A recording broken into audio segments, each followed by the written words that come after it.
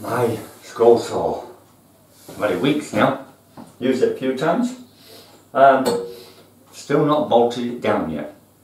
Not got to that stage yet, not had time yet, but now it's time I did because I want to start getting some serious work done. I've got many projects um, that I've got set up, or one main big project set up waiting for it to be finished. Um, and I don't want it shaking all over the place. So I want it on a stand, bolted down. So now is the time for me to make a good stand for my EX21. Um, typically these things are heavy on the vibration because of their action. Uh, this being this model being one of the smoother ones, still you're going to get it. So you want something that's going to anchor it down. So typically we bolt them down good and solid to the bench or something. Unfortunately I need mine mobile because of the situation where it's going to be. I just don't have space um, and I don't want it to take up space.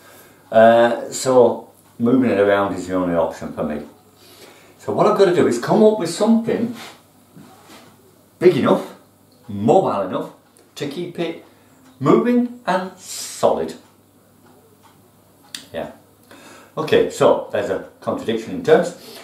I've come up with some ideas. I've been playing around with some um, little methods of working out how to do things. Um, and this is what I had to do.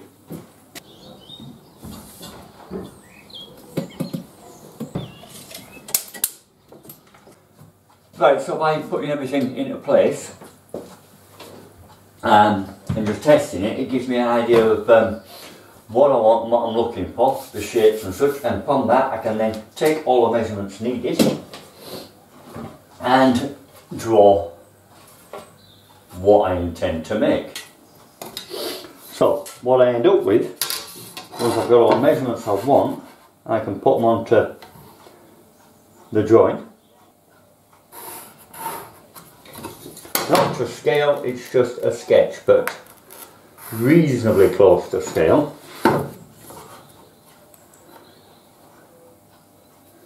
Sixty-seven, four.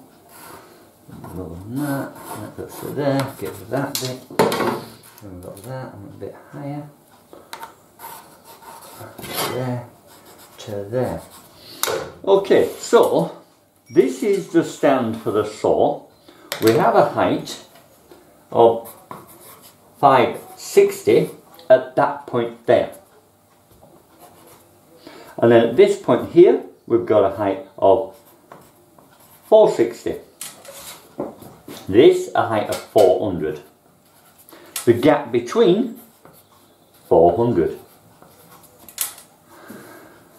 This here also 400. The length of this, straight length, so we're going there to there will be 430. Just big enough for the machine to fit on. That is the bolts part of the machine, not the overhang part of the back. Just the bolted part. So, we've got here the box that the saw sits on. The box that I sit on. Now I want to make it into one unit and I want it on wheels and I don't want it looking like a box. So what I want to do is get rid of some of the corners and give it some shape. So I'll start off with, to join the two together, we need connection. So let's round this, bring it down and connect it. Let's swoop in and come up and give it there, yeah? Bit of nice shape there. Possibly a bit more. There, that's it, that's a nice shape there. And let's whip that back off of there and all, we don't need that there like that.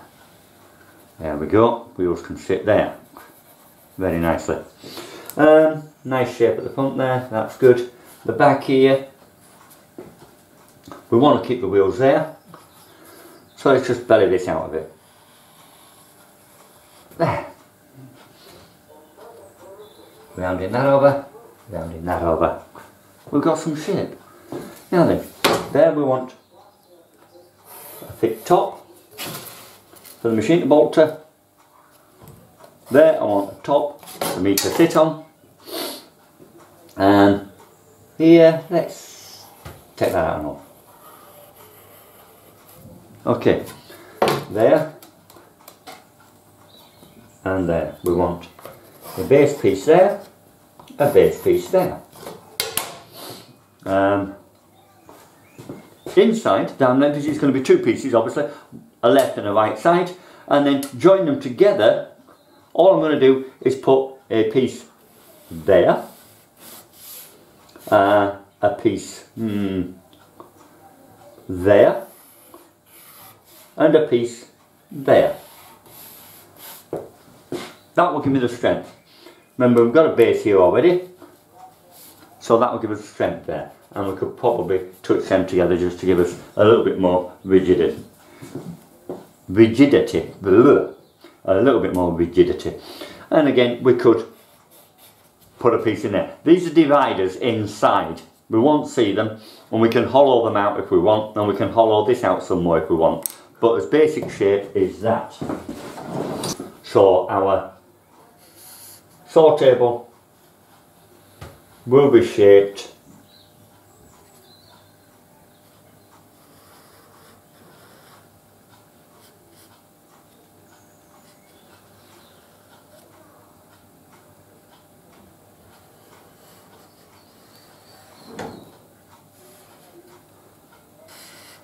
like that.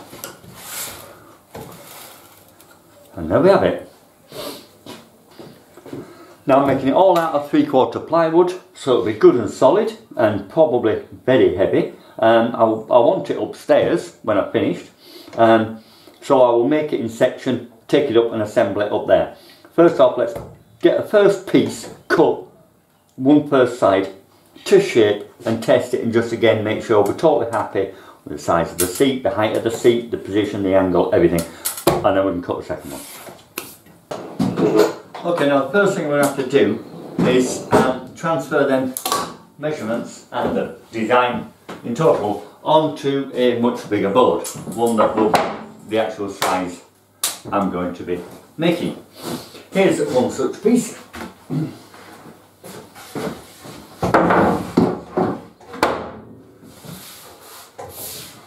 Uncut edge there.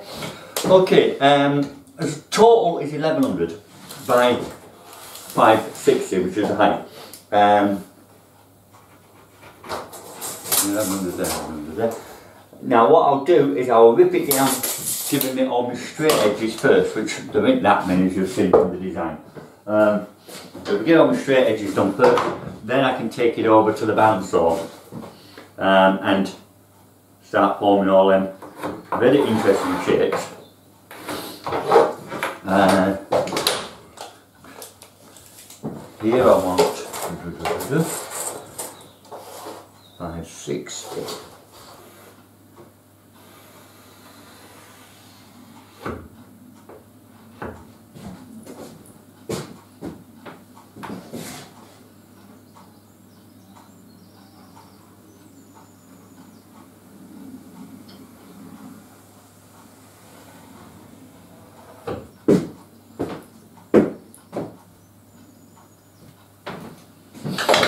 Okay, that's my basic layout there.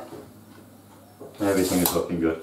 So, um, I'll whip this through on the saw table, get the bulk of it out of the way, and then we'll get to the bandsaw.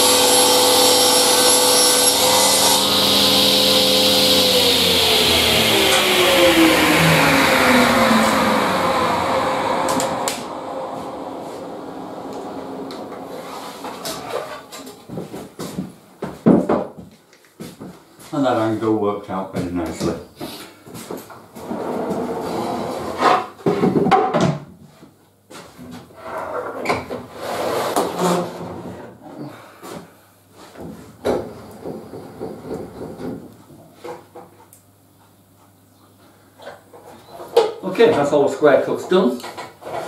Now to the bandsaw.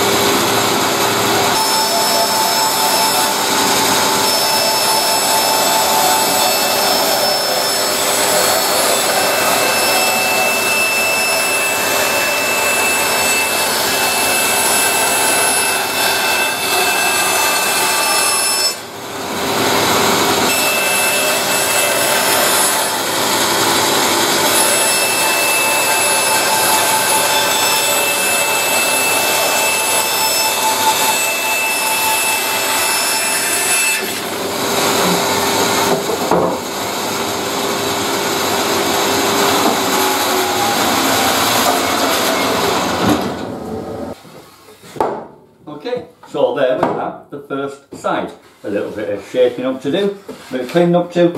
Um, but that's be the exact measurements that I needed. Um, highest point was 56, and that is 56. Lowest point there, from the floor, should be 46. yes, everything is exactly like it. 400, good. So, like I say now, I need to make another one of these. Then I shall make a flat top there and a flat top there. That will strengthen it up. Um, at the bottom, there and there, 250 mil again, flat pieces. Um, them ones will be inset. Um, and then of course, I will have some inside just to strengthen it up and stop any twist and add to it to its strength. But so far it's looking like quite a small compact item. Now what I want to do just to give it that illusion of floating is on the base I'm going to set in I've got 50 mil casters coming. I'm going to set a base in here 40 mil both sides. So the casters are going to disappear into the base. It's 400 mil wide, so it's quite a width there, so there'll be no problem with that. Um, but having them hidden away inside will just make it look like it's sitting there. You won't see the wheels, and it'll move everywhere. Um, a couple of them are lockable. I'll be sitting on it, I don't need it lockable. So it's not going to get away from me because I'm sitting on it. Right, make another one of them um, and then we can start with the cross members.